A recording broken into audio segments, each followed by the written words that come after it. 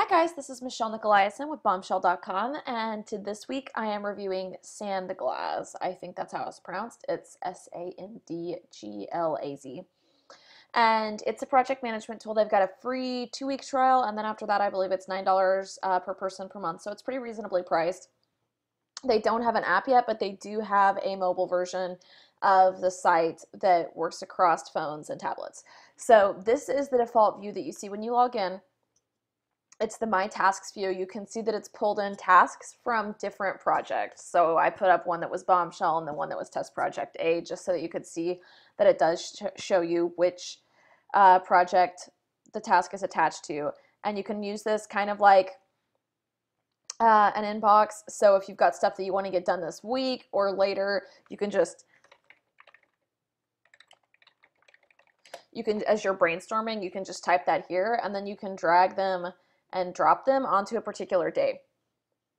So it's got a nice interface. Those of you who have watched my other reviews know that I'm really big, for me in particular, on having a drag and drop interface, but also like a calendar interface.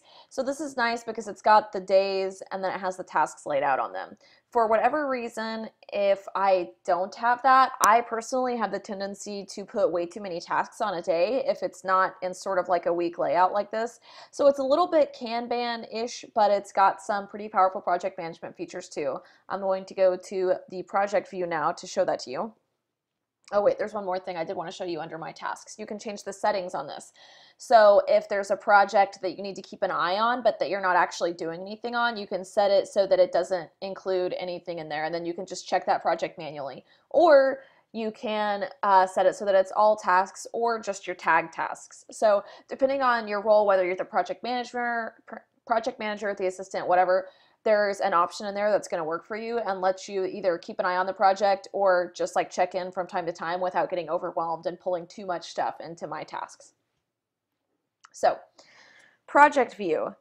This is what it looks like on a project. Uh, you can see that it's categorized by important, less important, and then down here it shows completed. Uh, this is what it looks like when you zoom in on a task you can add subtasks to the task and then you can drag and drop those particular subtasks as well. You can add notes here.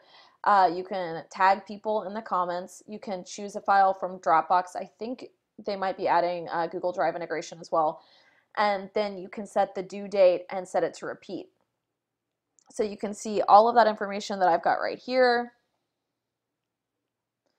Uh, and then you can see it's it's the same layout as the My Tasks, but it's in a week format. So you can change the milestones by, that's not how to change the milestones. Yes. So you can change it so that it's one day at a time uh, or two weeks. Each of these columns is two weeks depending on what you need to view. So this is for more of a top level view. And then the My Tasks gives you like day-to-day -day stuff. So you can use the tags to categorize.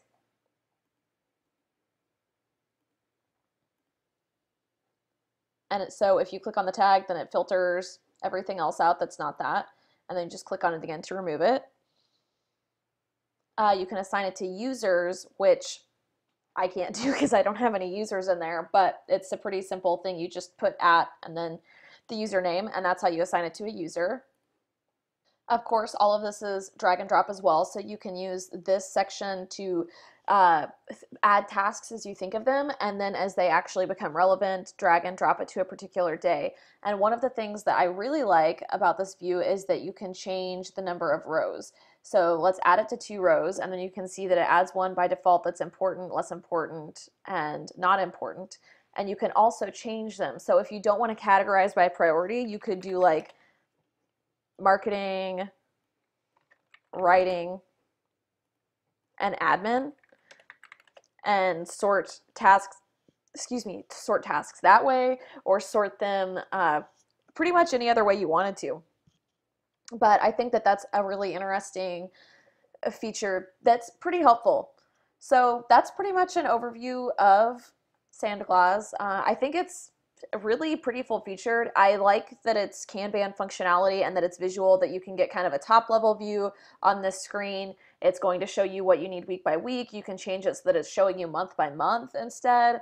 or you know two weeks by two weeks and then for a day-to-day view you drill down here you can see the whole week at a time and you've got other stuff back here so I really like it it's very reasonably priced they've got a free trial can't hurt to check it out uh, give it a go. And if you want more notes and commentary on this review you can find that at my site bombchelle.com and other reviews as well. Thanks for watching. Have a great day